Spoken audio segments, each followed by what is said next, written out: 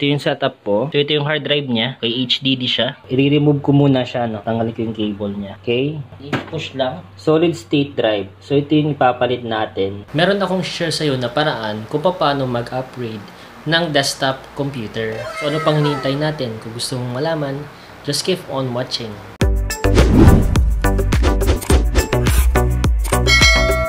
Hello, my name is Aljon. Welcome to my channel.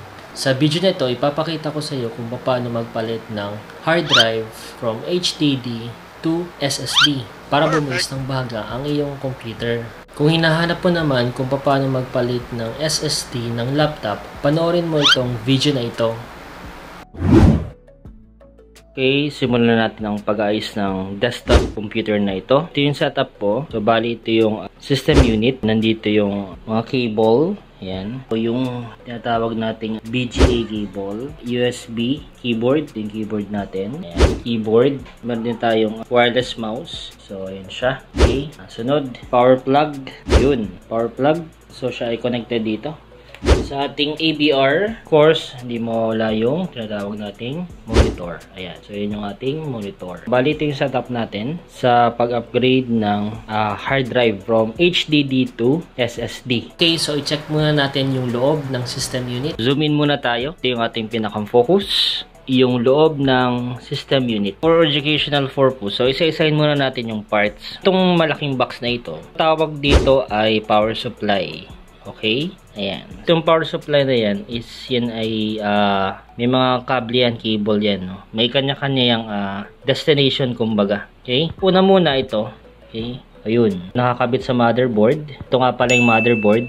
Okay? And then, uh, another one is yung another cable ng power supply nakakonect sa hard drive. So, ito yung hard drive. Okay? And then, meron pa rin dito, uh, nakakonect ano, yung may mga pins ito. Ito yung uh, motherboard. Okay, yan yung yung pinakamalaking board ano. Pangalan ng board niya is ayun oh, uh, MSI. Ito yung hard drive niya. Kay HDD siya. So meron din dito extra hard drive sa loob. But I think uh, hindi na siya gamit kasi wala namang cable. Oh. Okay, wala namang uh, SATA cable dito. So ito lang. So by the way, ito yung SATA cable niya. Itong mahabang ito. Ayun. Yan yung SATA cable na nakakonect sa board. Okay. And then meron din siyang uh, video card. Ayun oh. Ito yung video card. Okay, so nakakonect dun yung ating BGA cable para sa monitor. Of course, hindi mawala yung RAM. This one.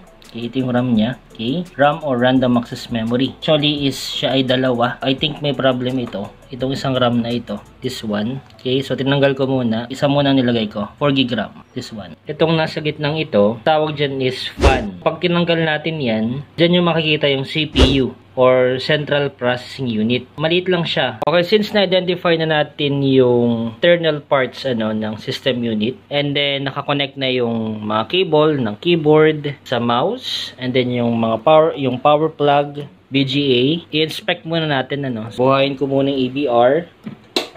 Oops, epic failed. Ulit. Di yata nakasaksak. Saksak muna natin pala. And then, and then balik tayo. Okay? Pindutin na lang natin.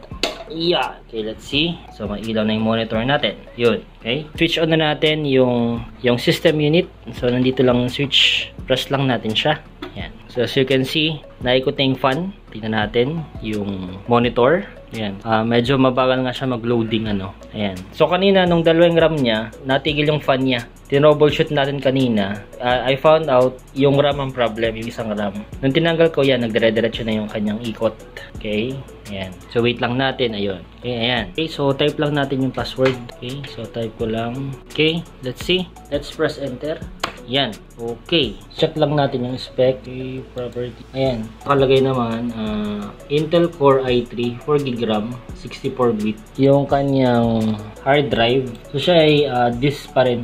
I-shutdown na natin ano, para maayos na natin yung loob ng system unit. Okay. Uh, shutdown. Shutdown ba? Shutdown. Shutdown. So, hintayin nyo munang mamatay itong fan na ito. Okay, hintayin natin.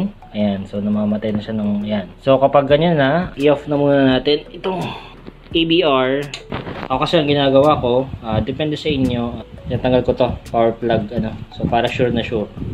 Okay, uh, sunod, ito yung hard drive niya, ano, yung current hard drive niya. I-remove ko muna siya, ano, tatanggalin ko yung cable niya. Unahin ko muna tanggalin yung sa power supply niya. Press nyo lang siya, ano, press nyo lang siya, then, uh, hugot ninyo.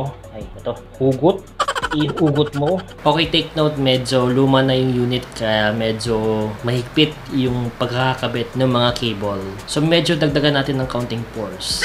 So, medyo uh, medyo matagal na itong unit na ito. Ihugot mo, i-push lang. Ayan. So, ito na yan. Okay. So, ito yung nakakonect sa power supply. And then, pangalawa mong tatanggalin is yung uh, SATA cable. Ito, SATA cable. Ayan, ito yan. So, nakakonect sa motherboard. Ito yung gagamitin natin na, no? So, dito natin i-connect yung SSD. Ayan. So, tinanggal ko muna siya. Ayan, so kapag nabunot na natin, magpalit na tayo ng hard drive from HDD to SSD. So, nandito na yung ating SSD or solid state drive. Pakita ko lang. Ayan. Ayan, uh, RAMSTA. Ano? Solid state drive. Ito yung ipapalit natin dun sa uh, existing hard drive na which is HDD. Buksan muna natin. Ayan, ayan. Okay, buksan natin. Okay. Ayan, so buksan natin siya. Ano ba ito? Ayan. Ayan, pag pala siya. Okay. Ayan, ito siya. Napakaliit niya.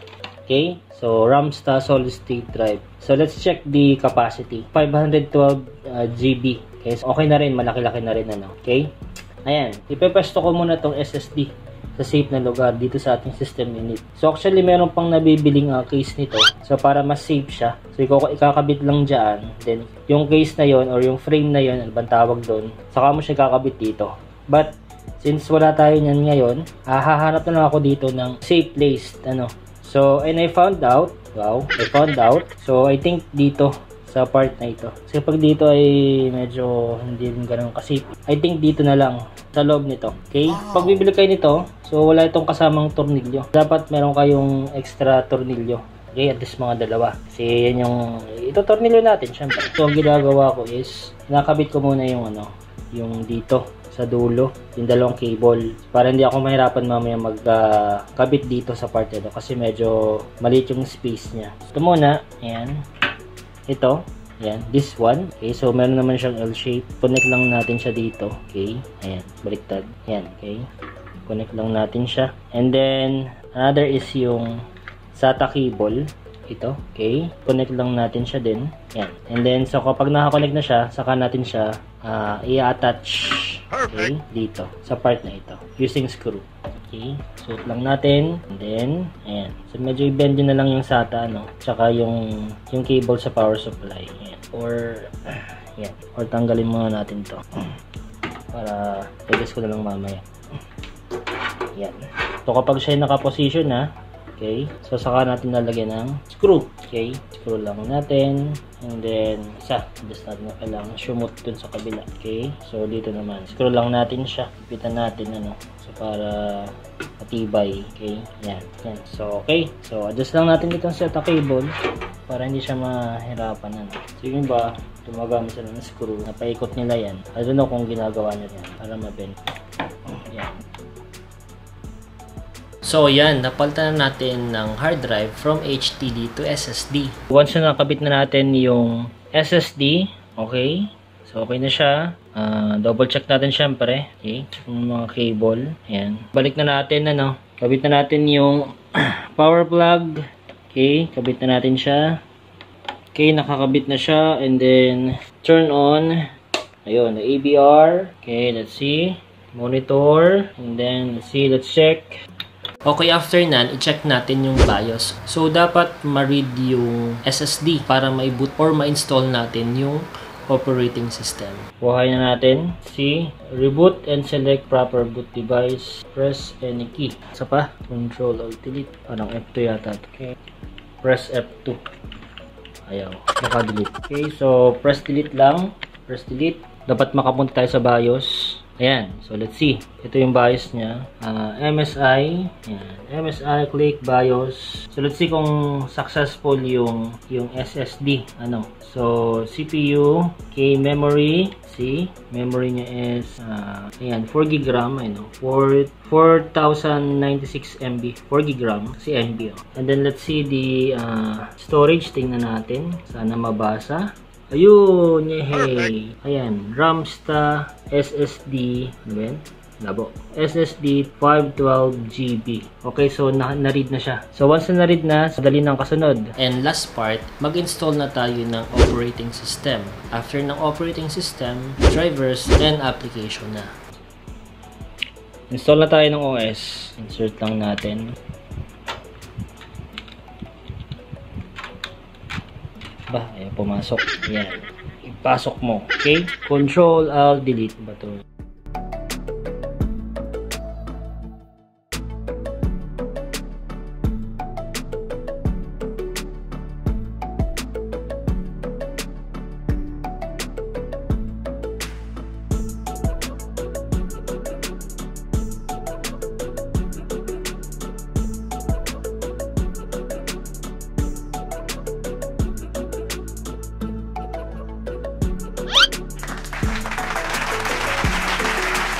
Alright, so tapos na. Ready na ang ating desktop computer with new SSD. Take note, if hindi pa kayo masyadong sanay or familiar sa gantong task, magpatulong sa mas nakakaalam.